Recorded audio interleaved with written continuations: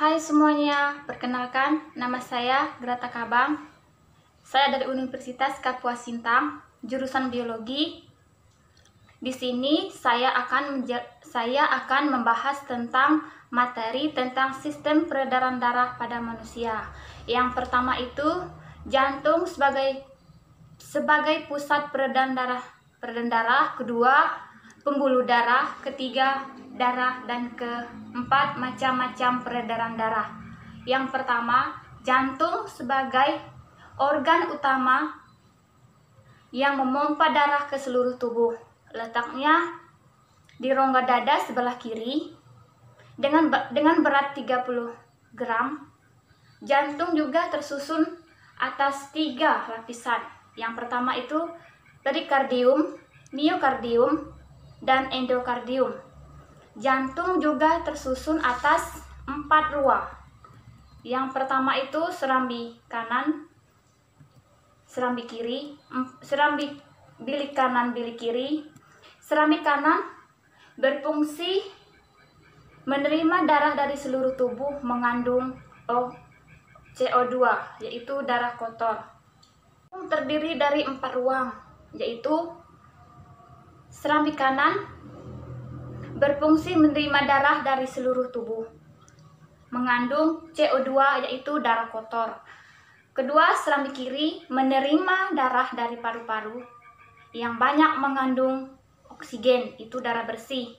Yang ketiga, bilik kanan berfungsi menerima darah dari seluruh dari serambi kanan kemudian dipompa ke paru-paru.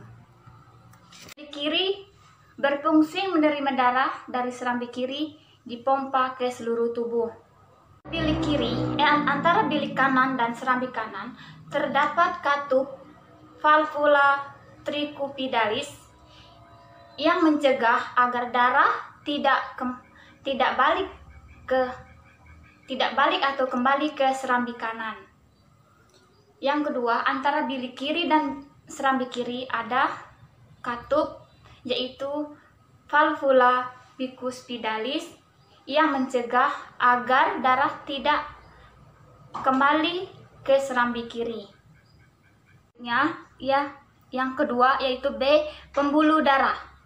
Pembuluh darah yang pertama itu pembuluh darah nadi yaitu arteri yang membawa darah meninggal atau keluar dari jantung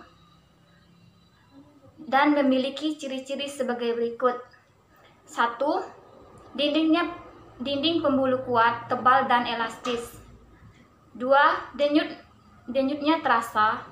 Tiga, letaknya tersembunyi agak ke dalam. Empat, memiliki satu katup pada pangkas orta, katup seminolaris.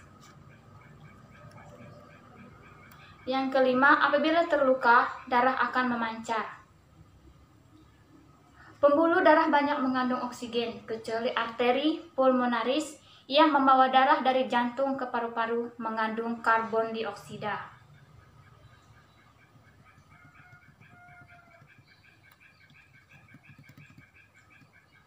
Yang kedua, pembuluh darah balik yaitu pena. Pembuluh darah yang mengandung darah yang mengangkut darah menuju ke jantung. Ciri-cirinya meliputi sebagai berikut: dinding pembuluh tipis dan elastis, Denyutnya tidak terasa. Letaknya dekat di permukaan tubuh. Memiliki banyak katup di sepanjang pembuluh. Apabila terluka, darah akan menetes. Pemburu pena banyak mengandung karbon dioksida, kecuali vena pulmonaris yang membawa darah dari paru menuju ke jantung. Yang kece, darah. Darah adalah cairan berwarna merah yang terdapat pada hewan tingkat tinggi. Fungsinya mengirim zat-zat dan oksigen yang dibutuhkan oleh jaringan tubuh sebagai pertahanan tubuh terhadap virus dan bakteri. Ciri-cirinya sebagai berikut. Satu, sebagai pengatur suhu tubuh. Dua, mengedarkan hormon. Tiga, mengangkut sari-sari makanan ke seluruh tubuh. Empat, mengangkut oksigen ke seluruh tubuh dan mengambil karbon dioksida dari dalam tubuh dibawa ke paru-paru. 5. Mengangkut sisa metabolisme dari tubuh ke ginjal. 6. Membunuh kuman yang masuk ke, ke dalam tubuh. Darah juga dibedakan menjadi dua. Yang pertama itu plasma darah adalah berbentuk cairan berwarna kuning yang menjadi medium sel-sel darah berfungsi mengangkut sari makanan dan sel sisa. Darah juga mengandung air, glukosa, protein, sari-sari makanan, garam mineral, gas karbon dioksida, dan sedikit oksigen. Kelenjar androgen hormon dan sisa metabolisme. Yang kedua, sel-sel darah meliputi ada itu sel darah merah, ada itu sel darah putih, dan keping darah. Selanjutnya, macam-macam peredaran darah. Yang pertama, peredaran darah tertutup. Kedua, peredaran darah terbuka. Yang ketiga, peredaran darah tunggal. Yang keempat, peredaran darah ganda. Uh, sis, di sini juga ada dua macam sistem peredaran darah. Yang pertama itu sistem peredaran darah kecil.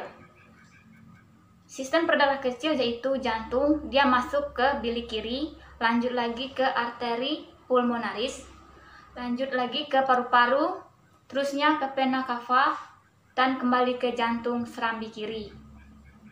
Uh, sistem peredaran darah besar juga diawali dengan jantung, masuk ke bilik kiri, orta, seluruh tubuh, dan dikemba kembali lagi ke vena cava, lanjutkan jantung dan serambi kanan. Uh, seperti kita ketahui juga, darah juga mengalami gangguan pada sistem peredaran darah. Yang pertama itu hemopolia, darah sukar membeku. Yang kedua anemia, HB eh, rendah dan kurang sel darah merah.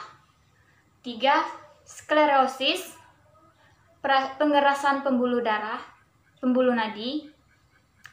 Uh, empat, eritroblastosis, penyakit kuning pada bayi, yaitu ibu dan anak, HB ibu dan anak berbeda. Enam, thalassemia, sedarah tidak beraturan, hipertensi itu tekanan darah rendah, hipertensi itu tekanan darah tinggi.